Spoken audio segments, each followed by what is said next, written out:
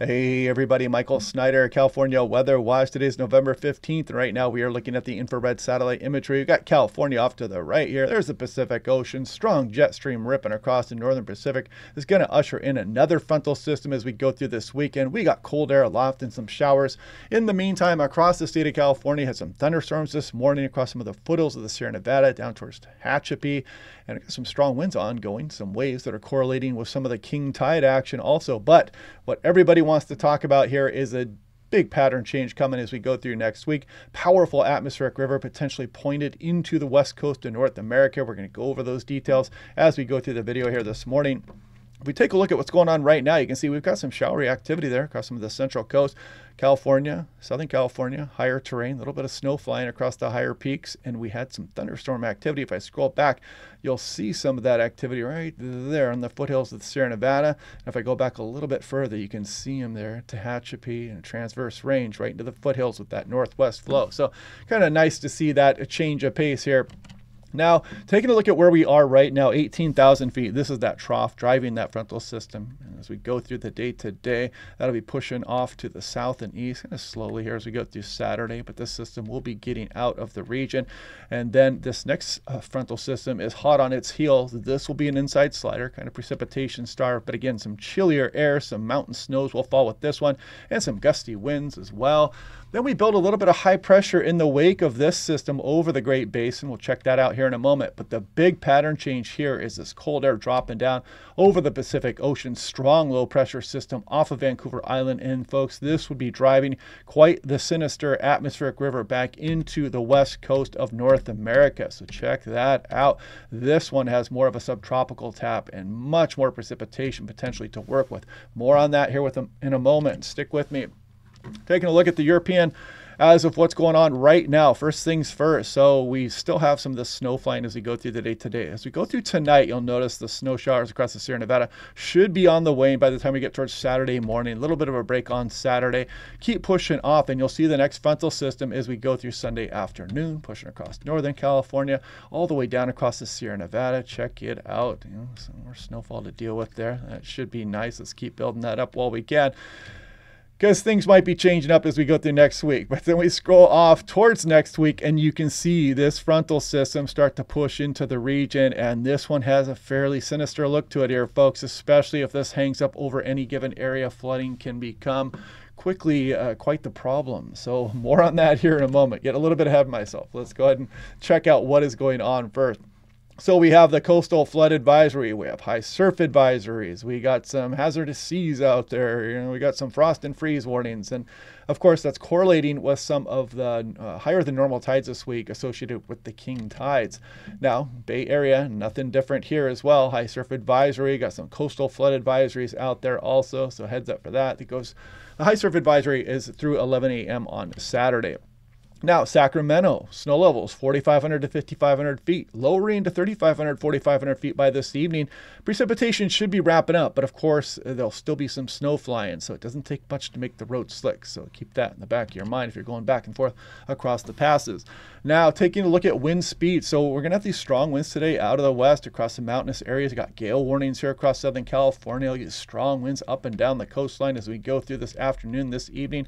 We do relax that gradient a little bit as we go through Saturday, but still some brisk northerly winds across Nevada, California deserts as we go on in through Saturday night and into Sunday. You can see some pretty blustery stuff going on here as we go through Sunday morning. But then that next frontal system starts rolling in here. You can see it pushing down across Northern California as we go through Sunday afternoon.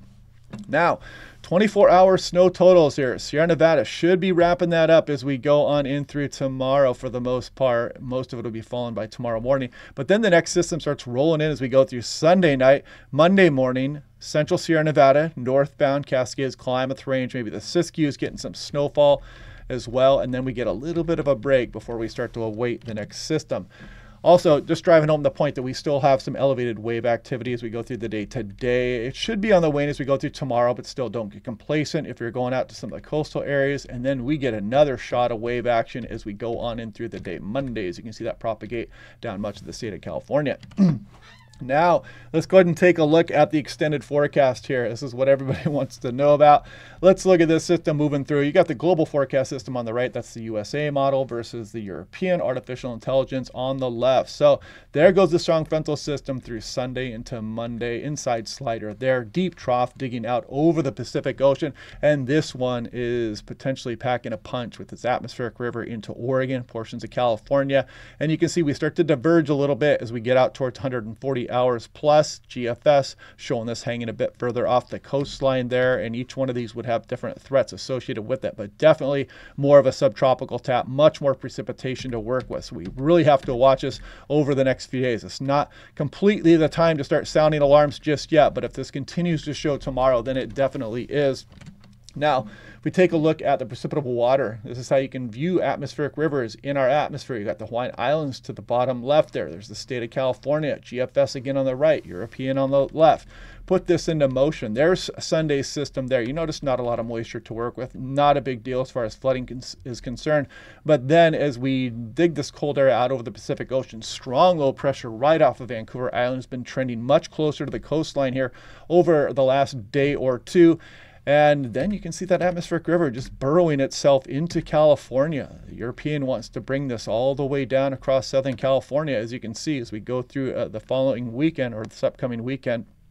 And not this weekend, but the following one. Getting a little ahead of myself there, sorry. But you see the GFS bouncing this atmospheric river around. That is a particularly nasty look there. If this hangs up over any given area, that can cause some pretty extreme flooding. And then eventually it propagates it down across Southern California. So yeah, active weather is incoming here, folks. Now we're going to take a look at the ensemble mean. So this kind of gives you more of a broad picture to see exactly what we're dealing with. There's Sunday system, pretty good agreement there. When we're, we're what we're looking at here is the European on the left as of last night versus yesterday afternoon. And then this is that strong storm developing. You can see the ensembles really in pretty good agreement showing that. And then this atmospheric river placement right into the state of California. That's where last night's model run ends. But you see the subtropical tap all all the way back towards the Hawaiian Islands. Bit of a pineapple express there, which is just a name for an atmospheric river, by the way. Now, I stopped this one right here because this is yesterday's run. You can see the high pressure stronger over the Great Basin. This would bring stronger offshore winds, but this is yesterday morning. This is last night. So you see the models trending stronger with this low closer to the coastline, makes this high pressure weaker and further east. So this would mean lesser of an offshore wind event as we go through the early portion of this upcoming week. And if we take a look at that, this is in the meantime, we've got some of the strong winds as this system continues to move in this frontal system on Sunday. You can see it right there, swinging down across the area. Again, that one is an inside slider. And then that is when the winds start to turn offshore a bit here as we go through very late Monday night into Tuesday morning. Could be gusty at times, but it should be kind of a uh, you know, a brief offshore wind event, let's call it, but still, even if it gusts for six to 12 hours, it can still cause some problems. So we'll be watching that one closely. But if you're watching out here across the Pacific Northwest, you can see that mid latitude cyclone just spin up this atmospheric river, just absolutely ripping into the west coast of North America, folks. And this thing looks like it means business. So, We'll reevaluate all this again here tomorrow and break it down, and we'll see what kind of model agreement we have by then. We went with some pretty dramatic changes here over the last 24 to 36 hours in what the weather models are saying. So we'll start sounding alarm bells by this time tomorrow. Let's just put it that way, if it continues to show the same stuff.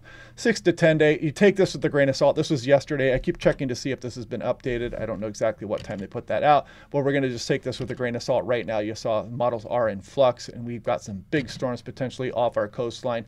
A little bit of above average there. But anyway, yeah, so if you start seeing that in some of the weather uh, apps and you start seeing that in social media and whatnot, yes, there is some truth to it. So we're going to continue to watch that very closely. Check back again tomorrow. We'll go over it all uh, again then. Hope you guys are having a good day. Otherwise, click like and subscribe, and I will talk to you guys tomorrow.